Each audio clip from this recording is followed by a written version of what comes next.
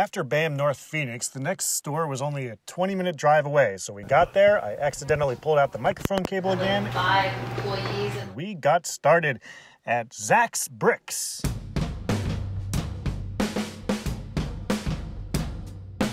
So here I am at Zack's Bricks with, Andrew? and you are the owner, correct? Yes, that's correct. So where did the name Zack's Bricks come from? Well, we when we were coming up with a name, I wanted to do something kind of paying an homage to Lego. If you remember Zack, Zack the Lego Maniac from the 90s,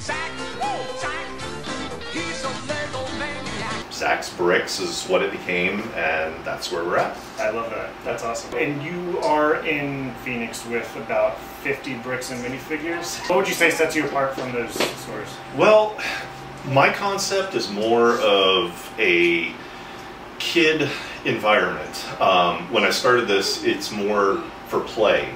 Um, with the pricing on some of the sets, we have some used sets, uh, the minifigures, um, our bulk brick. I want it to be so that when a child comes in, they can purchase with you know a certain amount of allowance or whatever they're whatever they're working with and they can come in and maximize their money to get toys, to buy something, to be creative. And you know, then we also do have some of the more expensive things, and that's for the collectors out there. So you know, trying to bridge um, both of them together with the collectors and with kids, and allowing you know the dad that comes in that he collects the Star Wars. Well, he wants this. Maybe the kid wants something that's you know less expensive, and it, it's kind of that option is kind of where I went with. My grandfather was a civil engineer, and he would always buy me Legos, and my parents would always buy me Legos. And because my birthday and Christmas are very close together by 10 days apart, I would sometimes get a bigger gift because that's what I wanted. I wanted the big castle set or something. I have all of my old Legos. They're actually in a big tub in my garage at my house. Uh, but yeah, I actually got a space set in that is from, I believe it was 86. And when I got it in, I was like really excited because it gave me that nostalgic throwback because it had the 9 volt battery box with the little lights Oh, and yeah. the sirens. So whenever I'd push it, you know, it'd kind of go off. And when I grew up, that was like the highlight. I think from right here I can see three black pearls and two queen anne's revenges. I'm kind of on a pirate ship kick right now. But Yeah, I kind of got on this whole like Pirates of the Caribbean like little like I had to buy them, so I bought the Queen Anne, and then my daughter claimed it. So then I got another Queen Anne, and then I got another Queen Anne, and then I picked up a couple black pearls. Uh, but you know, some of them didn't have sails, some were missing some pieces. So you know, going with Bricklink, getting the replacement parts, putting everything back together as it should be. Um, you know that that's fun. I like that a lot. Those ships are definitely cool. The sails and just how they go together, and they're they're really neat builds. I like them. do you have a, a favorite uh, theme overall? I like the UCS stuff. Um, I do like the Pirates of the Caribbean, the, the boats. I, I like the design of them. I like the detail work in them. I think that they look really cool. The Scooby Doo, I like that. Breaks my heart when I put it in the case and somebody comes in, but I know that you know they're coming in and they're excited to get it. So you know it's going from one person to another that's going to get enjoyment out of it. Yeah. One day I looked on eBay and I saw the Keebler elf. And I was like, oh my gosh, he'd be so cool. So I bid on him, won him. I got Toucan Sam, and then he also had Tony the Tiger. So the limousine is actually part of a wedding set. It's just kind of turned into limousine lunchtime from regular show with the characters from Adventure Time. I was gonna ask what do you think your, your oldest set is, but I think I know the police station.